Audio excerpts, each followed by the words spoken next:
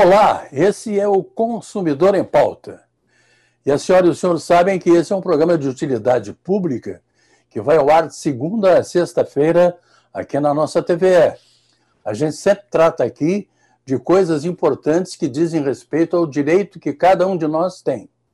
Direito do consumidor, direito do trabalho, direito comercial, direito imobiliário, direito de família e direito previdenciário.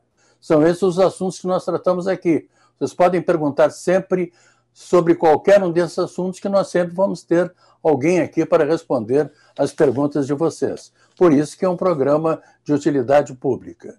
E vocês podem mandar as perguntas através do nosso WhatsApp, que é 985-946-773. Esse aí é o WhatsApp do programa. Vocês podem mandar as perguntas através desse número. Vocês podem também assistir ao vivo o programa no Facebook. Então é só digitar facebook.com barra Pública RS e clicar lá no ao vivo, que daí você vai assistir o programa no seu telefone, no seu iPhone, na sua, no seu computador, na sua internet, lá, qualquer lugar, tá? No seu tablet, qualquer lugar você pode assistir o programa ao vivo e onde você estiver. Se você ficou com alguma dúvida a respeito de qualquer coisa que foi dita aqui no programa, pode assistir amanhã, às 7h15 da manhã, e tirar todas as suas dúvidas. Se mesmo assim continuar com dúvida, ligue para nós novamente, que nós vamos responder e tratar de responder as suas perguntas. Tá bom? Hoje nós vamos tratar de direito comercial.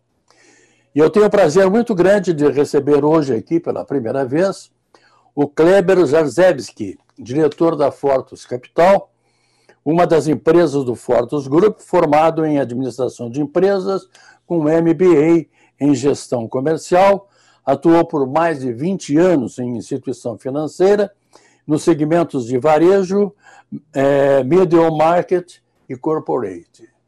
Boa noite, Kleber, tudo bem? Boa noite, Machado. Como vai? Tudo bem, graças a Deus. Estamos é, aqui com muitas perguntas e é um prazer muito grande em recebê-lo aqui, você que faz parte desse grupo tão importante que é a Fortus. Hoje você vai falar, que um, conforme as informações que eu recebi aqui, sobre Open Bank. Bank. É isso? É isso mesmo, Machado. É, em primeiro lugar, agradecer a oportunidade de estar falando é, no teu programa, agradecer aos espectadores que estão nos assistindo e que nos enviam as perguntas. Uh, são dois temas, na realidade, bastante interessantes e que são duas novidades no mercado financeiro que estão acontecendo agora no ano de 2020. Uh, embora tenhamos aí toda essa questão da pandemia, mas uh, as novidades são o PIX e o Open Bank, que vem aí realmente para mudar o mercado financeiro, mudar o acesso das pessoas a, a produtos e serviços bancários. O Kleber, nós já estamos no dia 2 de setembro. A pandemia começou lá por fevereiro, mais ou menos.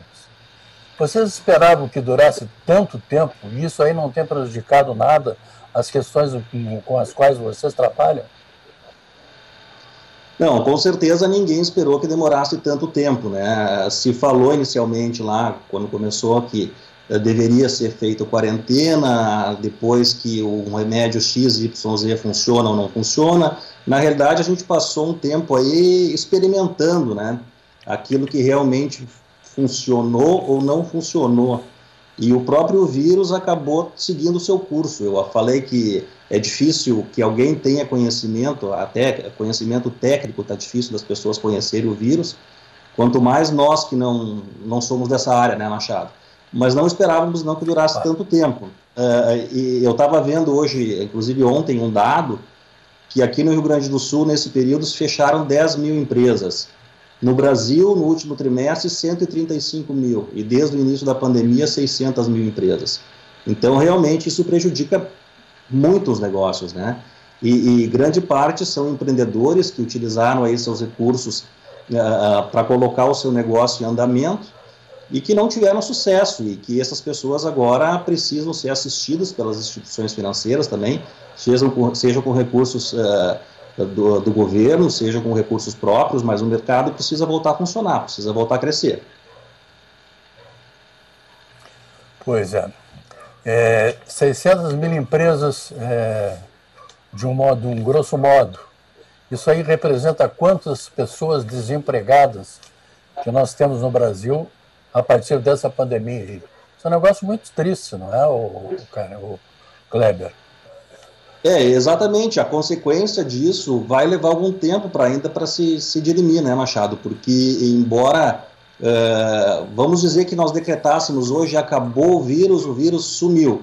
As pessoas ainda têm uma crise de confiança, ainda vão ter medo pra, de sair para a rua, de consumir, de frequentar o restaurante, frequentar a loja, uh, ou seja, ainda vai ter um reflexo que a economia só deve realmente, embora tenha dado sinais agora de que o tombo não foi tão grande, mas talvez o crescimento só ocorra efetivamente início do ano que vem.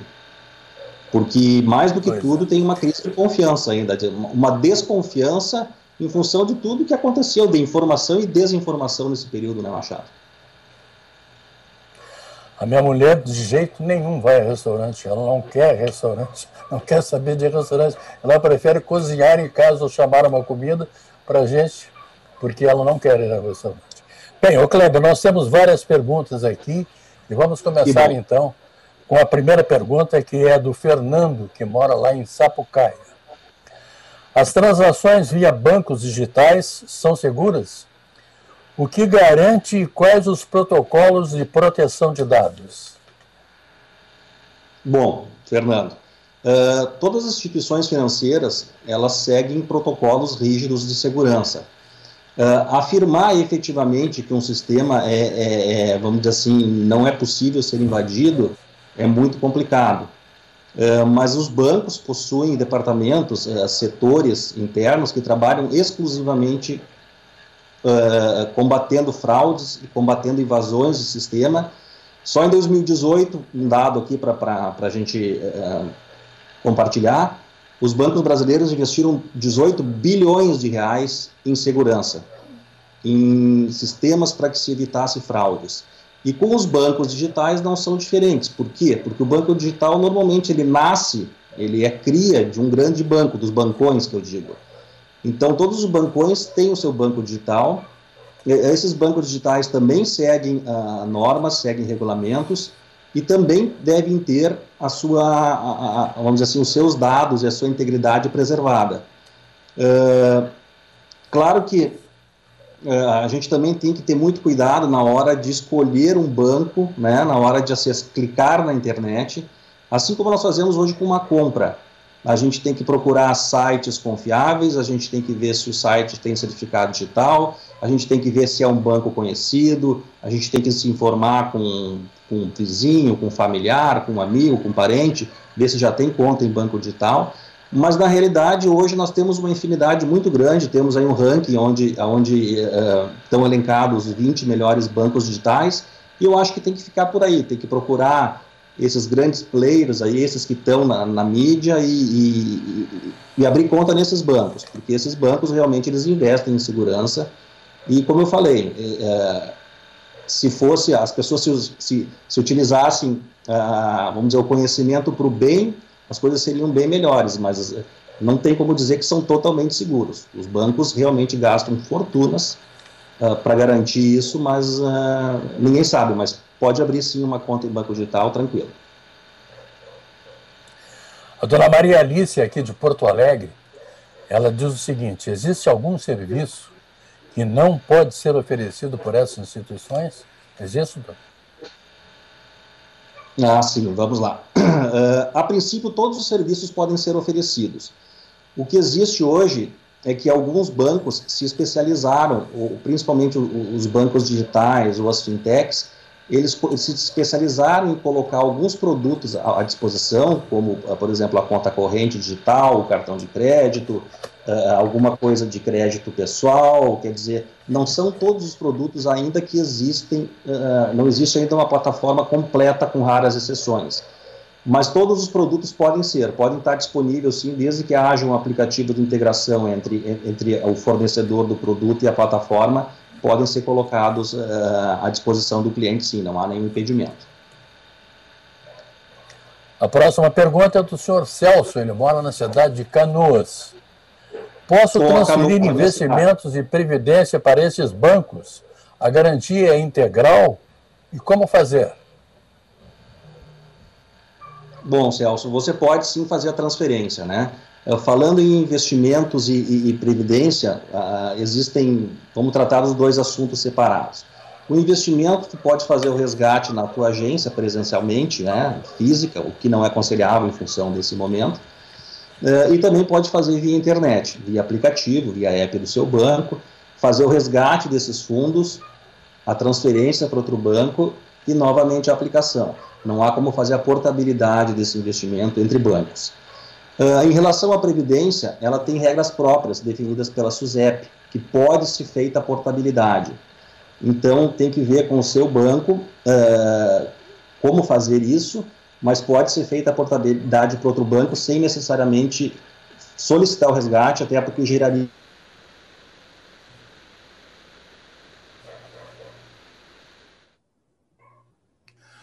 Bom, nós estamos aqui sobre o direito comercial e vamos fazer um pequeno intervalo, mas é bem rapidinho, a gente vai e volta.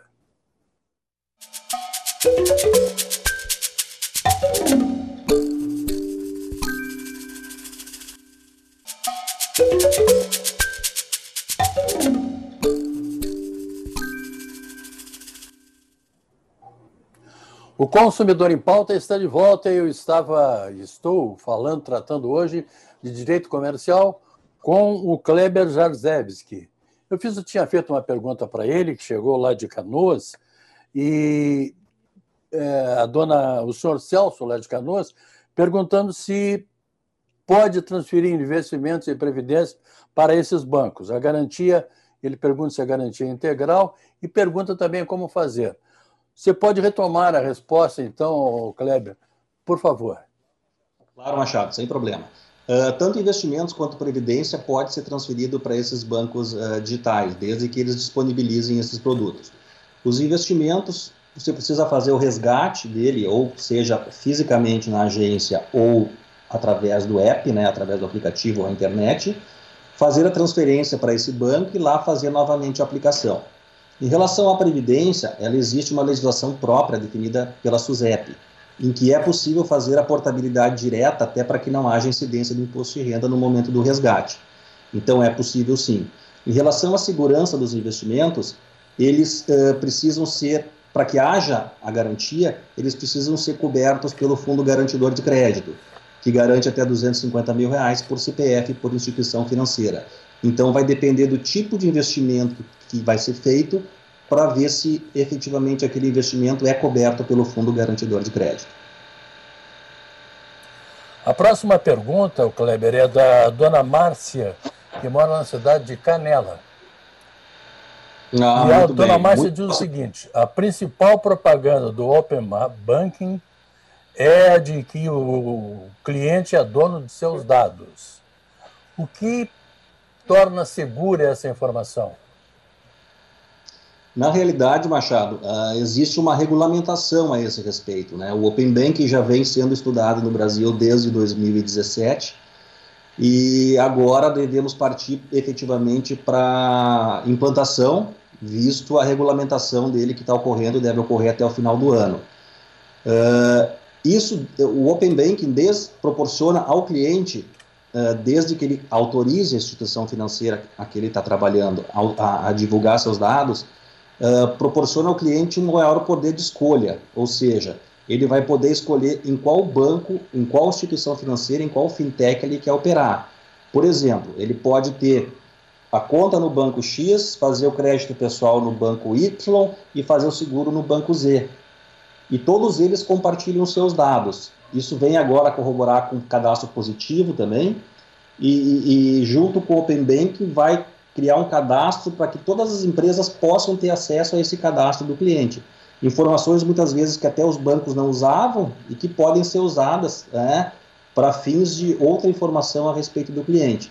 Isso, no primeiro momento, deve acontecer entre, entre instituições financeiras, entre bancos e fintechs, mas no futuro imagina-se que aconteça para empresas de, de, de viagem, uh, companhias aéreas e outros segmentos que venham a, a, a, fazer um bom uso desses dados também para estar tá proporcionando uh, maiores vantagens de produtos diferenciados para os clientes. Mas os dados são sim do cliente. Pois. Eu estou falando sobre o Open Banking, eu confesso para vocês que é uma coisa que eu conheço muito pouco.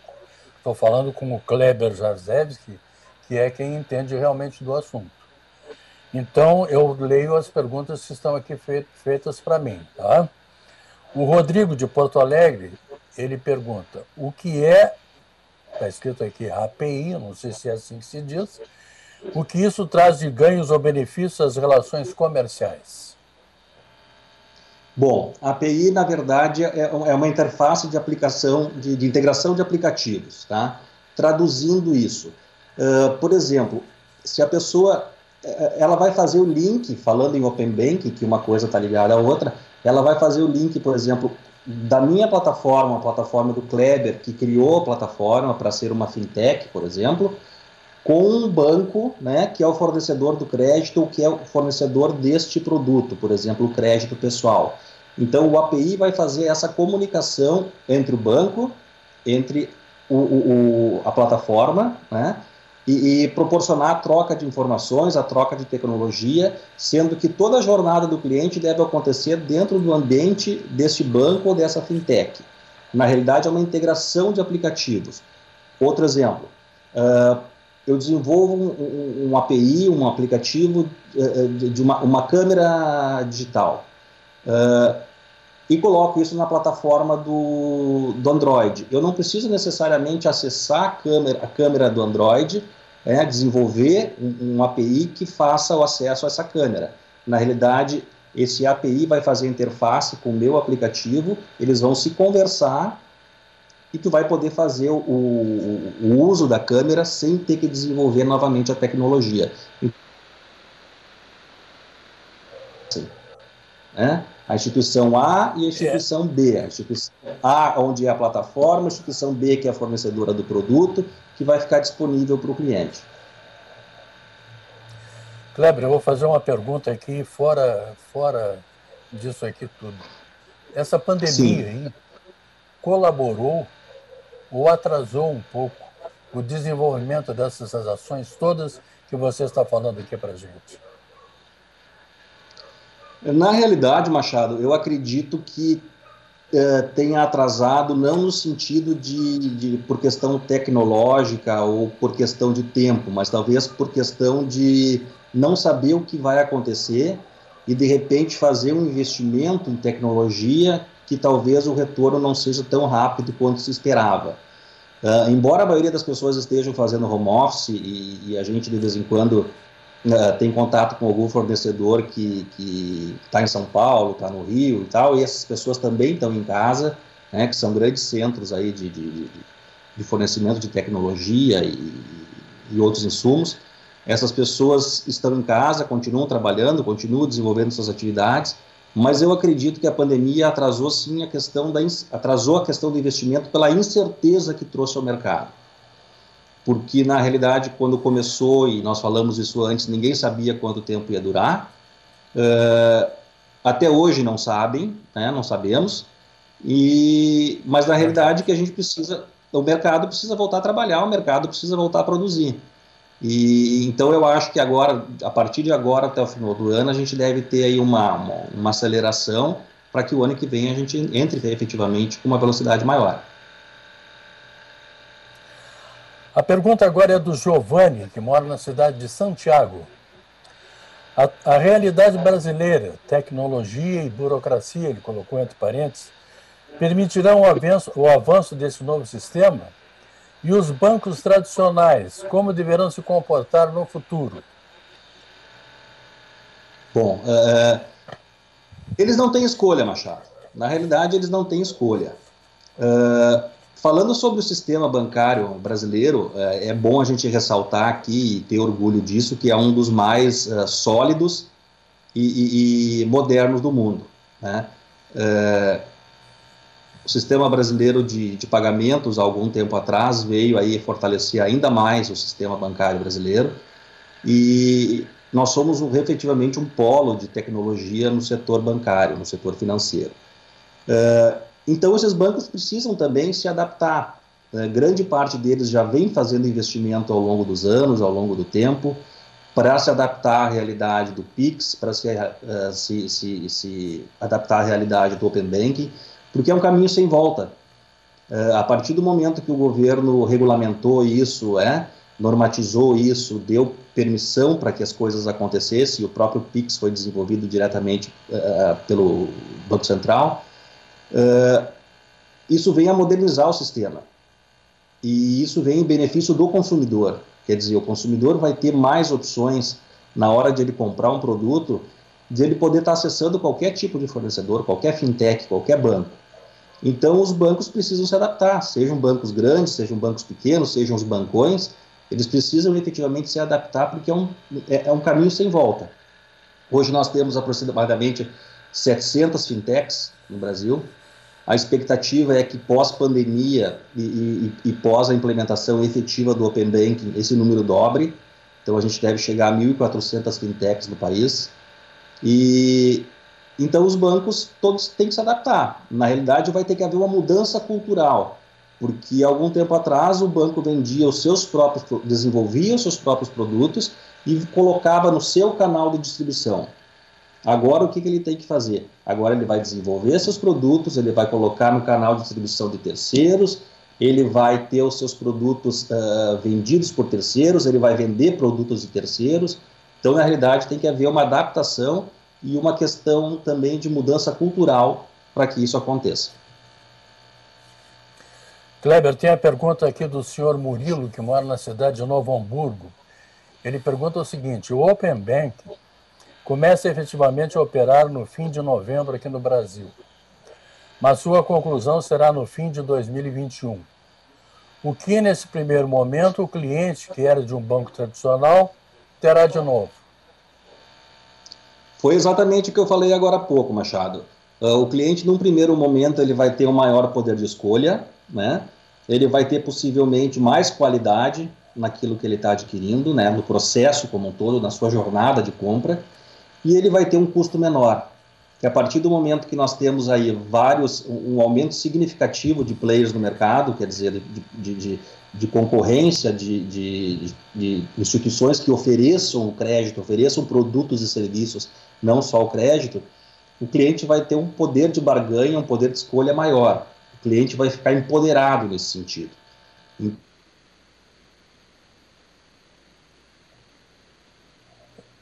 Kleber, eu, eu tenho uma pergunta aqui ainda. Eu estou conversando com o Kleber Jazev, que, é da que é operador da da Fortus Capital e, e é, ele é administrador de empresas com MBA em gestão comercial.